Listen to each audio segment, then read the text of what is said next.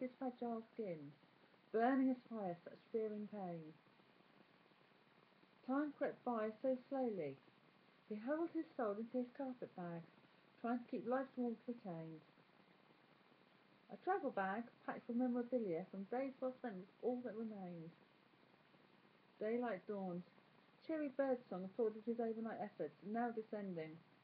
He was not gloomy. Relief was upon him. Morning had come at last. Hid behind the stones, past those markers, he looked around, surveying the situation. The widow woman, tears streaming, stood beside vacant hole. Wandered vacantly into the house of the holy, supported by those who cared.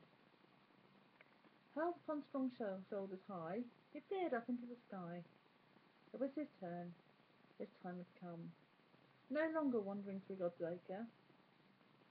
Casket lowered six feet or more, a single red rose did descend upon him.